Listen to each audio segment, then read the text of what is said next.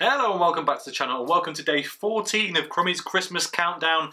Uh, yeah, I mean, the time is flying, isn't it? I'm back in the ACDC Christmas jumper. I think, I can't remember it was the jumper or the shirt. It was the shirt that got confused last time as not being a Christmas related item, but indeed it is. I might wear that one tomorrow just to clarify the situation. But yes, this one, ACDC's, uh, for those about to have a great Christmas. I can never remember what it says on the bottom, uh, but for some reason there's a cannon and some candy canes and holly, and anyway. Uh, let's get on to it. What is behind door number 14?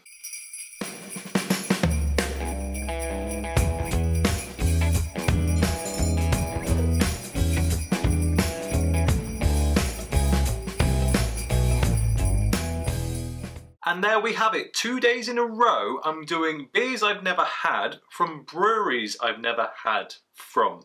Uh, this time we are in Belgium. I was confused at the beginning of yesterday's video. It was indeed a German beer, but this is very much Belgian, and it's from La Chouffe, I think is the pronunciation, which I assume means the gnome or the I don't know what, but um, anyway, the original La Chouffe, I've seen a lot and I do want to try, and in fact I do have a bottle, but this one is their Christmas edition. It's called N'Ice Chouffe or N'Ice Chouffe or N'Ice Chouffe.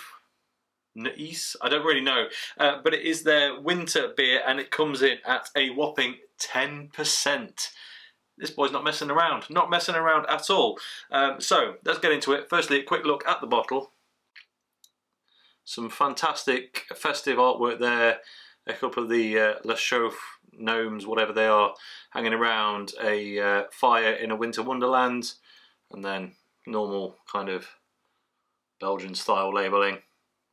Let's do it. I really need to get a more generic Belgian glass, but uh, as always I'm going for the left glass as it's kind of the most appropriate for this style I guess. There we go. Not a bad pour. In the glass then, oh wow, the aroma as I moved it past me, that's gonna, this this is gonna be feisty, I can tell. Um, it looks quite dark on camera, but actually it's um, not even quite as dark as yesterday's beer, in this glass at least. It's, uh, it's dark red, uh, but hold it up to some light and you get some real red notes coming through. I don't think the camera's to do it justice, but uh, it's definitely a red beer rather than a properly, properly dark one.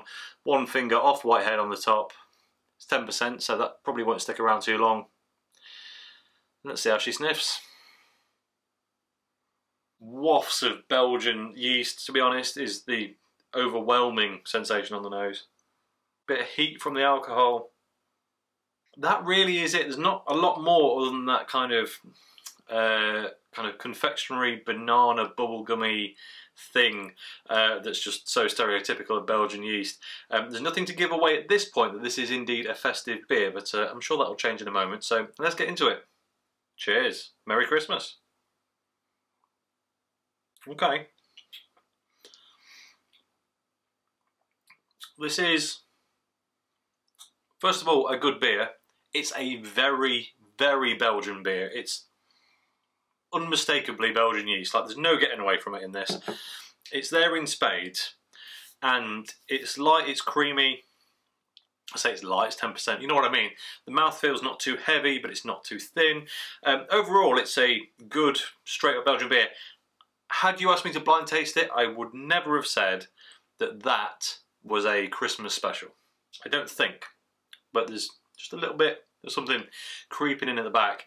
Um, so let's see if we can figure out what all that is. So uh, let's just do it. Top to bottom taste test. Initially, big prickly carbonation on the front of the tongue.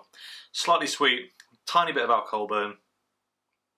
Next phase is smooth, sweet, bit malty actually. You start to just get a flicker of some of the other ingredients. That moves on to what is a relatively refreshing kind of mouthfeel on the swallow. It's um yeah, bit spritzy, bit carbonated, not crazy, but just enough to really spike it at the back of the mouth.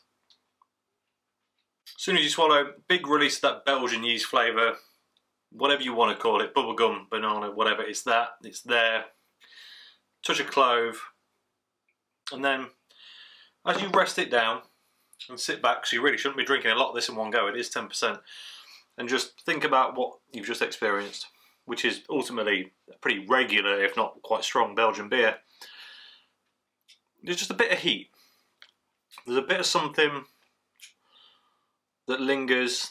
It's probably a bit of a duet between the alcohol content and something else.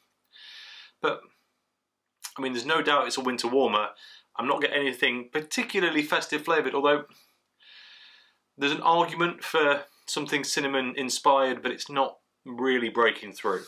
Um, so yeah, let's see if we can find out any more on the bottle. I've just realised I'm wearing a jumper for this one. It's 10%. I am red hot right now. So, Nice, Nice, Chouffe uh, says uh, Belgisch winter beer, Belgian winter beer, 10%, 330ml bottle. Um, it says strong beer. You're not wrong. Uh, right, it's quite difficult to read this bottle, so do bear with me. The ingredients are water, barley malt, uh, invert sugar syrup, hop, yeast, orange peel, and thyme. Okay, I, I mean, I wasn't really getting any orange peel and thyme, if I'm honest, but hey, that's what's in it. Um, and everything else on there is the same thing in several different languages, and their normal info. that really is about it. They don't give much away, the Belgians, normally on their beers. It's normally pretty succinct and to the point, uh, but I guess they have to ship it internationally, so their labels have to conform to every given possible standard, I guess. Um, yeah. And this one is good until August 2023, so uh, it will survive a while, I think it's fair to say. I feel like this is going to be a very short review. I really like this beer, but I really like Belgian beer. From memory, I don't think I paid a huge amount for it. As a result, well, for the quality and the ABV, yeah, absolutely big thumbs up. It's not an absolute festive tree, but I tell you what, sip one of those after your Christmas dinner and you will be asleep till Boxing Day. And that really is all I have to say about it. So apologies if it has been a bit of a shorter one than normal, but I just don't have any more. It's very nice. I'm quite interested to try the original because, well, this doesn't taste especially special, if that makes sense. I would, if I'd tasted this and you told me that was the original La Chouffe, then I would have said, yeah, even though I've not tried it. You know what I mean? It just tastes like a regular variant. Um, so I'll be interested to see how that differs. Uh, but until then, until tomorrow for day 15, wowzer, uh, that is everything. So as always, thank you very much for watching. If you enjoyed this video, please like it. If you haven't already subscribed, if you will be so kind, and I'll catch you tomorrow. Cheers.